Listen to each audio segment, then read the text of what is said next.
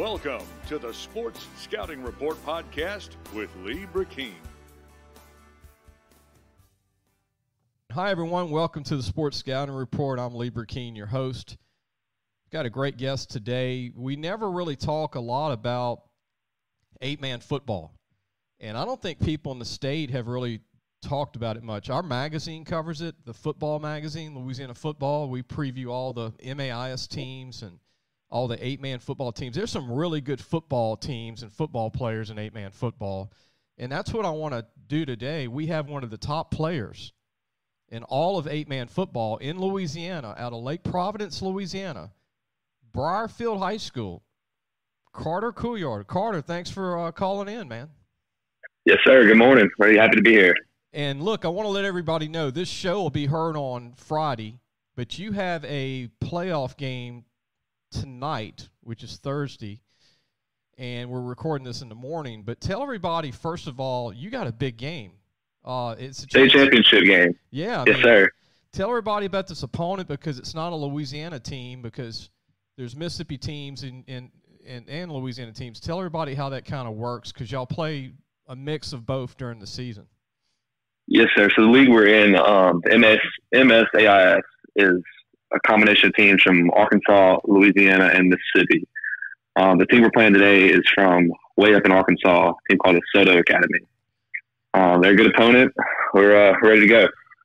And what do you think about scouting and watching film? They, uh, I mean, y'all, y'all. We're going to talk about you and your team. Y'all have got some big guys on your team, and you're one of them. I mean, you're six four, all of six four, about two sixty and you can run. I mean, you play tackle, but you would be a tight end if you were probably at a 3A school, yes, or 2A1 school. But you're doing O line, and you only have three O linemen, and and then you play D line, and you you don't even leave the field. But this team that you're going to play, do they have the size that your team has, or they're more of a quicker type team? They're very explosive. They've uh, they got a really quick running back and a, a fast quarterback. Um, I think our line should be able to dominate today, um, as we have all year. But uh, should be a fun one. I mean, I've seen all your games because we're doing your highlight tape, and when we get it out, I think it's going to be phenomenal. That the teams are going to say, "Man, we didn't know this guy was there," you know? yes, and, sir. And I mean, you, I'm, I'm going to tell you this, and I'm, I'm going to say this to the listeners, and I'm not just saying this because we're going to promote you and get your highlight tape out, but if you played at any high school in Louisiana, you would be recruited heavily, and it, and you'd be you'd still be a sleeper. But in the end, all that matters is where you go. And I think you're going to have a chance to go to some really good schools. And and I, I here's what I think you could be in college. You remind me of a guy named Stephen Peterman that went to LSU about 20 years ago. He was from St. Stanislaus in Mississippi. Yes, sir. And they were a small 2A school. He was 6'4", 260, just like you, and ran about a 4'8". And he went to an LSU camp as a tight end and a DN. And Coach Saban said, You're an offensive guard. You want to play in the NFL? And he's like, No, I'm a tight end DN. I ain't no offensive guard. And Peterman ended up being all SEC two years, playing in the NFL five years. That's awesome. As wow. A, as an offensive guard, he got to like up to about three, 300, but like not fat, you know, just a big guy. And that's how I look at you. You you you're very lean, strong for 260 and you move very well. And when I'm gonna tell you, when you do come with a rush on the defensive line, I mean these guys that you play can't block you, and uh, I'm sure that's going to be the goal for you tonight. Is because you don't get any rest, you don't get to leave the field. You play O line and you go back and play D line. That's right. Um, we don't have a whole lot of depth on our team. We're only having around 22 players on the whole uh, whole team. So I would go from defense to offense to kickoff to kick return to punt. You know, it's it's never ending, but I love it. You know, it keeps you in incredible shape and lets you experience both sides of football, and it's great. I love it. We're gonna take a quick break. Uh, Carter, don't go anywhere. We're gonna have more of Carter uh, Coullard from Briarfield Academy, eight-man football team in Lake Providence, Louisiana. He's a senior, class of 222. He's one of the top prospects in the state. He was on the cover of our magazine this past summer. We'll be right back in just a moment. Listen, whatever you're driving right now, Tommy Harvey wants it. Bring it in to Harvey Subaru, Lexus of Shreveport, Bossier City, or John Harvey Toyota. They're paying big bucks for all trades right now. They'll cut you a check right there. Tell them Lee sent you. Welcome back. You listen to the Sports Scouting Report. I'm your host, Lee King. Our guest today is Carter Coullard. Carter is uh, 6'4", 260, plays O-line, D-line at Briarfield Academy in Lake Providence in North Louisiana, and I think he's one of the diamond in the roughs for this season. His highlight tape's going to explode with a lot of these schools. And Carter, getting back to your team, I want to promote some. I don't want to leave your teammates out, uh, but you've got some good players. Nick Hale's a big kid that plays on your team. He's grown a lot, six three, what two seventy. Um, yes, sir. He plays OD line with you, and he does a good job. I think he could play college somewhere. Noah Payne I think he's a really good lineman. I mean, he's what five nine, about 250, 245. He's a tough kid. Um, Landon Webb's a heck of an athlete for your team at receiver and DB. Uh, Noah Womack, you know, you've got just or, Owen Arledge. Your brother, who's only a sophomore at receiver, is a pretty good player. And there's yes, several, there's several other kids. Uh, the the running back that's a senior uh, talk about number 21, uh, Romarian Johnson. He's also a really good linebacker. But what do you think of the senior group? It's a special group for eight man football, right, Carter? It it is. We uh we started this year as you know a band of brothers. We've been together for almost since third grade playing football, and have been uh big contributors to the past past teams in the past few seasons. So uh, this year we kind of took the reins as leaders and put everybody to work, and here we are. What do you think you head coach Bo Travis? I mean, the job he's done. This is his uh, fifth year as head coach at Briarfield, and I mean, it's not easy uh, in eight man football because everybody's kind of similar in talent. But what do you think of the job he's done uh, over the last five years? I love him. Um, I can't say enough about him. You know, he he treats every player like a like a son. Um, he loves every one of us, but he's of course hard on us, and it's uh, through his hard work and where he mind that got us here. We're going to take another quick break when we come back. We're going to brag on this Briarfield Academy program because their 2020 record was 11 and 0. They were 11 and 0 state champions, uh, and we'll talk about some of the teams they play. And Card, I'll get your your uh, your feelings on some of the top programs you like to play every year in, in eight man football out of Tensas Academy and some of the other teams that y'all play Claiborne and some other play teams. We'll be right back. If you need a paint job or repairs to your vehicle Go see Madine's Collision Center located in Baton Rouge, Louisiana on Kincaid Avenue. The number to call is 357 7983. That's 357 7983. Your Baton Rouge Accident Advisors. Welcome back. You listen to the Sports Scouting Report. I'm your host, Lee Brecheen. Our guest today, I think, is one of the best lineman prospects in Louisiana, Carter Coullard, who I think is D1. I think you D1, man. I don't think you're just one double A or an unknown. I, th- I think you could be a D1 player. And I had a chance to talk to your mom and your dad, but your mom is a huge LSU fan, which I think uh, she is. She is. When I mentioned the word LSU, man, she was like, "Man, I, I would like to see Carter go there." What, how do you feel about LSU? Um, growing up an LSU fan my whole life, uh, I love them. Um, be a dream come true to play for them, or anywhere for that matter you know they need kids like you uh, because regardless of the record you're you're you love the school you're not saying well they had a bad year i don't want to go there you know it, but there are a lot of kids that like you said they want to go there regardless and get things back to normal there and uh, yes sir what do you think of lsu uh, getting a new coach uh, supposedly it's going to be a big time coach pretty soon I don't know. I think it'll be a, a big name and a, a big deal. Um, I'm eager to see who they end up going with, and hopefully it's the best for the program. All right, so you run under a five flat 40, which is impressive for 260, 265 at six four. You're built like you bench 500 pounds. I mean, in the weight room, you just have that physique where you're just, you know, you look like a big Mike linebacker, like a Joey Bosa. You know what I mean? Um, yes, sir. And so, I mean, that's what you got. You got a lot going for you to add good weight and not lose any speed. Uh, does, is there anybody you pattern your game after watching football? Because we're going to get to baseball, but what do you since you've loved football a little more now? You were baseball, but now you're loving the football. But what do you? Is there anybody that sticks out that you like to watch? Um, as you just mentioned, both of the the both the brothers, I absolutely love their game, and um, all they do is incredible. So baseball was your first love, I believe, talking to your parents. And then football, For a little while, yes, sir. But I think football has always been football's always been number one for me. And now it's stronger, huh? Now that time is Yes, sir. Uh, what do you? grew from a yeah, yeah. it grew was- from a love to a to a passion, and uh, couldn't couldn't go without it. We're going to take another quick break, Carter. When we come back, I want to talk about some of your opponents. Think of two teams you love to play more than anybody every year.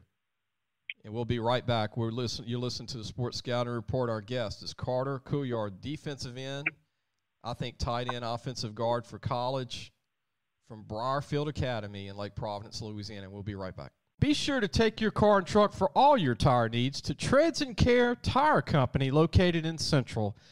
The number to call is 331 8144.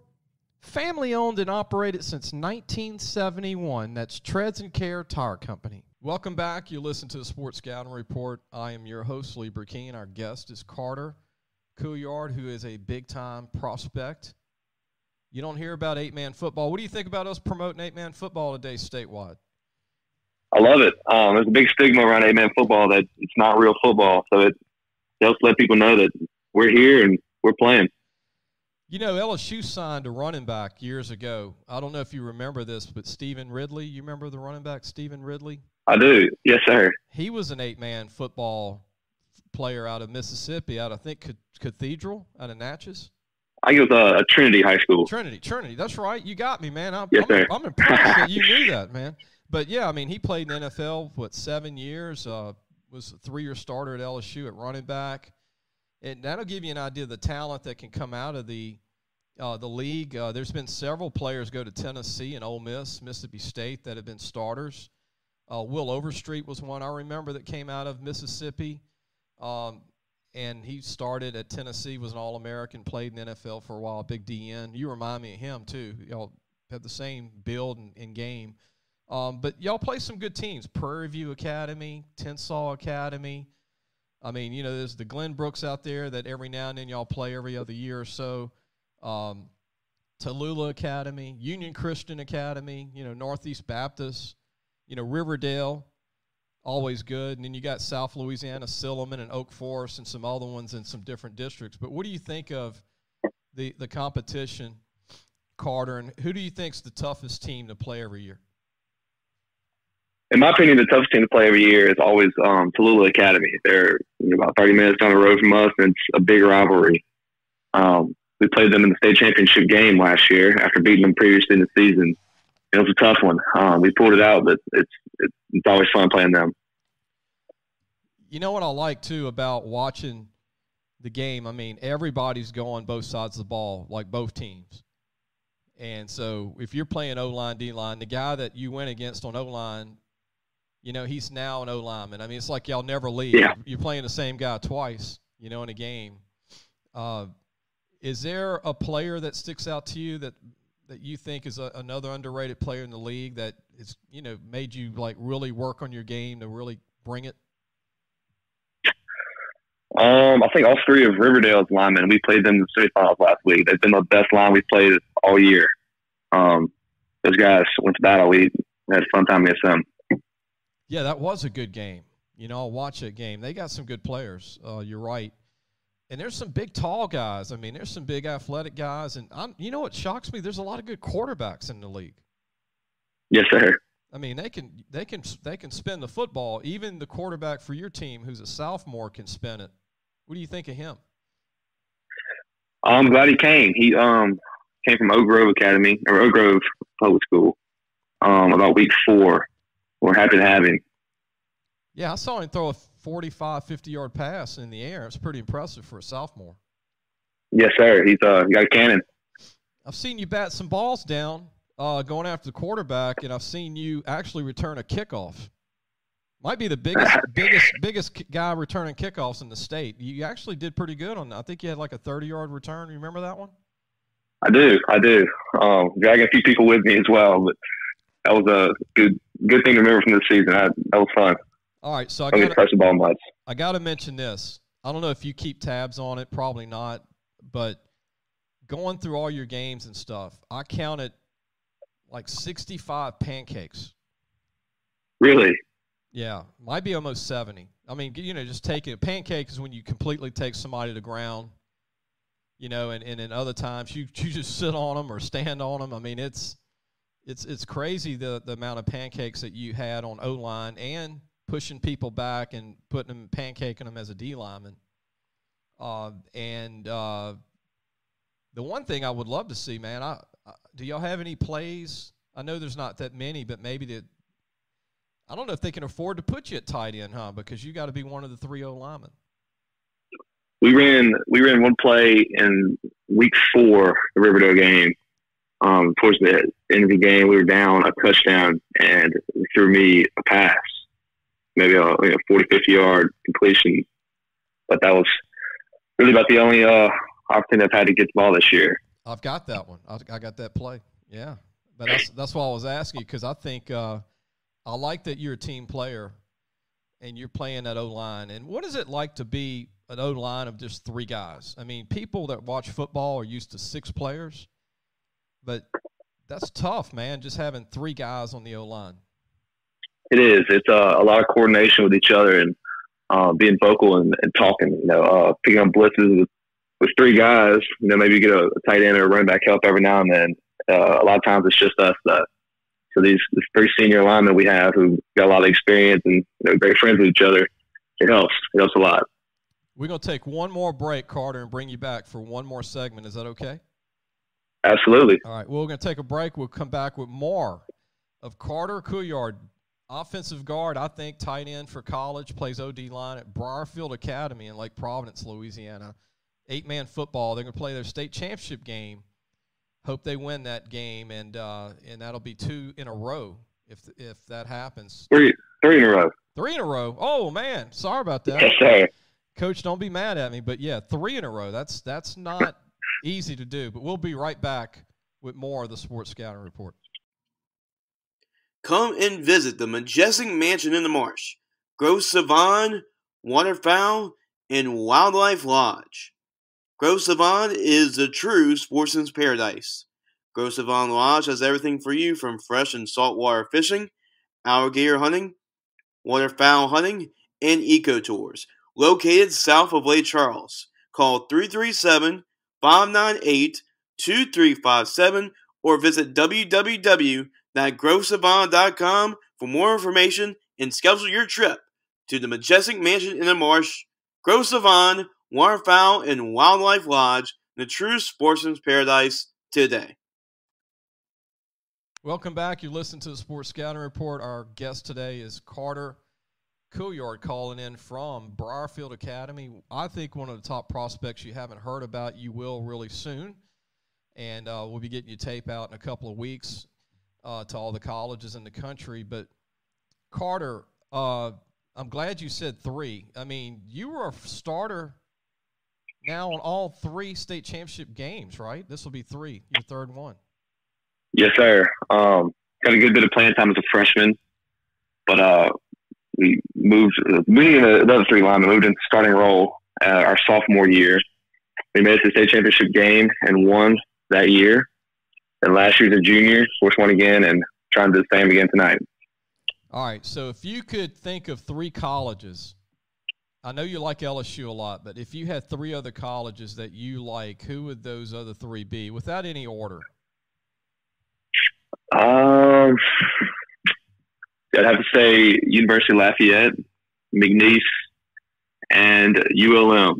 Um, three teams that are you know, in Louisiana and close to home and close programs that I, I follow closely, keep up with. All right, so you're from North Louisiana, and LSU plays ULM Saturday.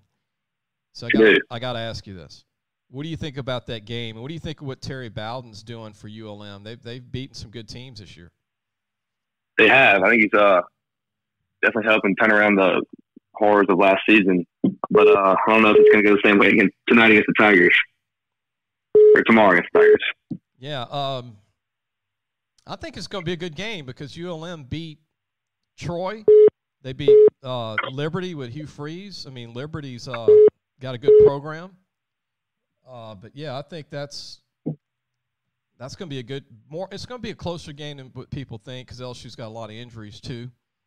Uh, yes, sir. Sure. And then Louisiana Tech's having a tough year, huh, with Coach Holtz. You're not as much of a Tech fan as you are ULM, huh? Correct. Uh, and then, what do you think of Tulane? Um, I, I, I like Tulane. It's a cool school. Never really you know, visited much, but uh, I've heard good things about it. Yeah, you just probably probably take a visit. You probably have you ever been to Tulane? I've not. Okay.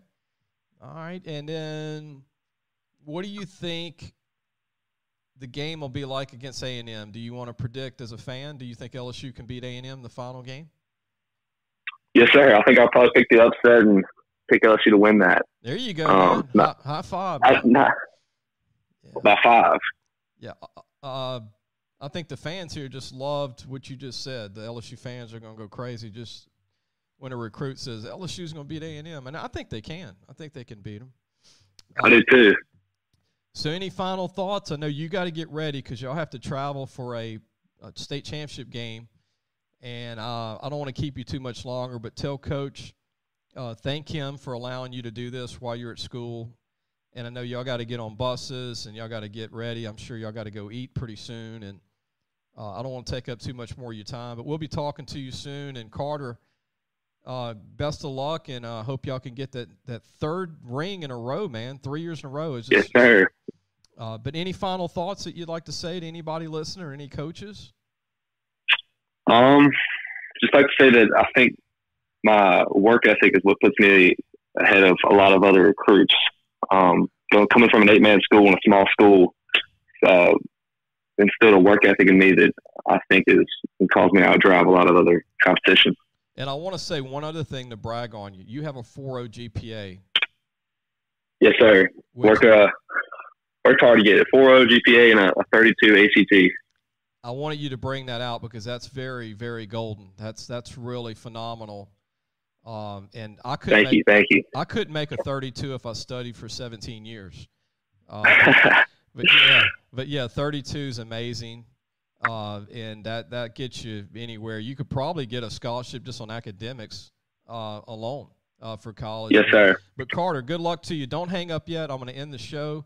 Go to lafootballmagazine.com if you want to get a magazine. Actually, Briarfield is previewed in the preview magazine with all his teammates uh, from the senior unit, like Nick Hill, Noah Payne, a lot of the guys on the team that are seniors, uh, some juniors that are in it. But yeah, you know, go to lafootballmagazine.com and we will see you next week.